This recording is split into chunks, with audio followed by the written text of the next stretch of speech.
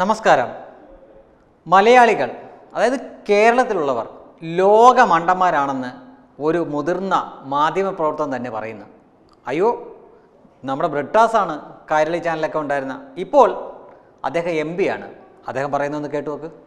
ലോക്സഭാ തിരഞ്ഞെടുപ്പിന്റെ സമയത്ത് അതെ കഴിഞ്ഞ ലോകസഭാ തിരഞ്ഞെടുപ്പ് സമയത്ത് നമ്മുടെ പ്രധാനപ്പെട്ട പത്രങ്ങളൊക്കെ നോക്കി കഴിഞ്ഞാൽ പ്രിയങ്ക ഗാന്ധിയുടെ വലിയ വർണചിത്രം സാരി ഇന്ദിരാഗാന്ധിയെ പോലെ സാരി ഉടുത്ത്.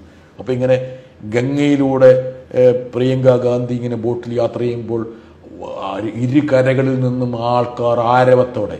അതെ മനോരമയല്ലേ അതിൽ മുഖ്യമായിട്ട് നിന്നിരുന്നത്? രാഹുൽ ഗാന്ധി ആഞ്ഞടിച്ചു പ്രിയങ്ക ഗാന്ധി ആഞ്ഞടിച്ചു പറന്നടിച്ചു എന്നൊക്കെ പറഞ്ഞുകൊണ്ട് ബാക്കിയോടെ പോരട്ടെ. അപ്പോൾ ഞാൻ ഈ യാത്രയുടെ കൂടെ പോയ ഡൽഹിയിൽ ഒരു പത്രപ്രവർത്തനം വെച്ചു അഞ്ച് പേര് തികച്ചില്ലായിരുന്നു അയ്യോ അങ്ങനെയല്ലല്ലോ പത്രങ്ങൾ പറഞ്ഞിരുന്നത്. പതിനായിരക്കണക്കിന് ലക്ഷക്കണക്കിന് ആൾക്കാരുണ്ടെന്നല്ലേ പറഞ്ഞിരുന്നത്? ഒരു പൂച്ചക്കുഞ്ഞ് പോലും ഇത് കാണാനുണ്ടായിരുന്നില്ല. ഷോ ഒരു പൂച്ചക്കുഞ്ഞ് പോലും ഇല്ല എന്നാണല്ലോ പറയുന്നത്. അഞ്ച് പേര് തികച്ചില്ല. അഞ്ച് പേര്. അങ്ങനെയൊന്നും പറയരുത് ബ്രിട്ടാസെ. രാഷ്ട്രീയ എതിരാളിയാണെന്ന് പറഞ്ഞുകൊണ്ട് അഞ്ച് പേരൊക്കെ കൊള്ളെന്നൊക്കെ അല്ല പറയുന്നത്. അതൊരു പ്രാസം ഒപ്പിച്ച് പറ. പത്തോ അൻപതോ പേരൊക്കെ കണ്ടേക്കാം. ഒരു വെറും അഞ്ച് പേരെന്നൊക്കെ പറഞ്ഞു കഴിഞ്ഞു കഴിഞ്ഞാൽ അത് ശരിയല്ല. അവരുടെ കൂടെ തന്നെ കാണുമല്ലോ സെക്യൂരിറ്റി എന്നൊക്കെ പറഞ്ഞുകൊണ്ട് അഞ്ച് പത്തും ഒക്കെ പേര്. അപ്പോൾ അഞ്ച് പേരൊന്നുമല്ല പത്തൊൻപത് പേരൊക്കെ കാണും. പക്ഷെ ഇവിടുത്തെ പത്രങ്ങൾ വായിച്ചത് എന്താണ്? രാഹുൽ ഗാന്ധി പ്രധാനമന്ത്രി പ്രിയങ്ക ഗാന്ധി പ്രധാനമന്ത്രിക്കൊപ്പം അങ്ങ് സംഭ്രമിച്ചു പോവുകയല്ലേ? അപ്പൊ അതുകൊണ്ട് അങ്ങനെയുള്ള ഷോ അത് കേരളം വിശ്വസിച്ചു. കേരളം വിശ്വസിച്ചു. കേരളം വിശ്വസിച്ചു. കേരളം വിശ്വസിച്ചത് ആ ഷോകളൊന്നും എനിക്ക് തോന്നുന്നില്ല മധ്യ മറ്റേ ഉത്തർപ്രദേശ് ചെലവാകും. വർഷങ്ങളോളം കൈരളി ചാനലിന്റെ തലപ്പത്തിരുന്ന വ്യക്തിയാണ് ഇപ്പോൾ എം ആണ്.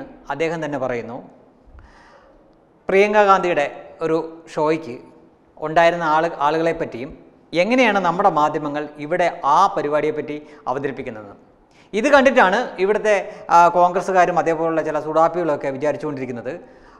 രാഹുൽ ഗാന്ധി ഇതാ പ്രധാനമന്ത്രിയാവാൻ പോണു പ്രിയങ്ക ഗാന്ധി പ്രതിരോധ മന്ത്രിയാവാൻ പോകുന്നു സോണിയാഗാന്ധി ഇവരെ എല്ലാം നയിച്ചുകൊണ്ട് തലപ്പത്തിരിക്കാൻ പോകുന്നു എന്നൊക്കെ. ഒന്ന് ഓർത്തു നോക്കിയേ എന്താണ് നമ്മുടെ മാധ്യമപ്രവർത്തകർ നമ്മളോട് പറഞ്ഞുകൊണ്ടിരിക്കുന്നത്? മറ്റൊരു മാധ്യമപ്രവർത്തനം തന്നെയാണ് പറയുന്നത്. ഇദ്ദേഹം ഏതെങ്കിലും സംഘപരിവാർ അനുകൂലിയായിട്ടുള്ള മാധ്യമപ്രവർത്തനമല്ല. എല്ലാവർക്കും അറിയാവുന്ന പോലെ ഇടത് ഇടതുപക്ഷ ഇടത് സഹയാത്രികനാണ് അവരുടെ തന്നെ സ്വന്തം ചാനലായ കൈരളി ചാനൽ നയിച്ചുകൊണ്ടിരുന്ന ആളാണ്. ആ ആളാണ് പറയുന്നത് യു പിയിൽ ഇത്തരം തക്കിട തിരക്കട പരിപാടി ഒന്നും നടക്കാൻ പോകുന്നില്ല എന്ന് ലാസ്റ്റ് പറഞ്ഞത് ഇനി വരാൻ പോകുന്ന നിയമസഭ ഇലക്ഷൻ മുൻ മുന്നിൽ കണ്ടുകൊണ്ടാണ്.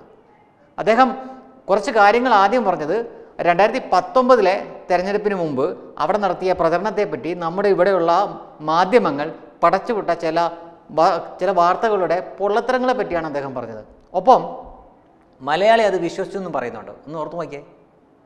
മലയാളികൾ അത് വിശ്വസിച്ചു എന്നും പറയുന്നുണ്ട്. തീർച്ചയായിട്ടും വിശ്വസിച്ച് കാണണമല്ലോ. കാരണം പത്തൊൻപത് സീറ്റാണ് യു ഡി എഫ് ഇവിടുന്ന് പിടിച്ചുകൊണ്ട് പോയത്. ഇരുപത് സീറ്റിൽ പത്തൊമ്പത് സീറ്റാണ് കൊണ്ടുപോയത്. അപ്പോൾ തീർച്ചയായിട്ടും മലയാളി അത് വിശ്വസിച്ച് കാണണം. അപ്പോൾ മലയാളികൾ മണ്ടന്മാരാണ് എന്ന് പറയാതെ പറഞ്ഞു വെക്കുകയല്ലേ ഈ ബ്രിട്ടാസ് ചെയ്തത്? ഒന്ന് ഓർത്തു നോക്കിയേ. അപ്പോൾ അവരും കൂടെ കൂടി പറ്റിക്കുന്നുണ്ടോ മലയാളികളെ തീർച്ചയായിട്ടും. അതുകൊണ്ടായിരിക്കണമല്ലോ പിണറായി വിജയൻ രണ്ടാമത് വന്നത്. ഇതൊക്കെ കാണുമ്പോൾ ശരിക്കും പറഞ്ഞാൽ ചിരിയാണ് വരുന്നത്. കാരണം നമ്മുടെ ഇവിടെ തന്നെ ഒരു ഓണം ബെമ്പർ അടിച്ചിട്ട് ആ ബെമ്പർ അടിച്ച വ്യക്തി ആരാണെന്ന് കണ്ടുപിടിക്കാൻ പറ്റാത്തതാണ് നമ്മുടെ മാധ്യമപ്രവർത്തകർ. മൂന്ന് ദിവസം ഓടി നടന്നു.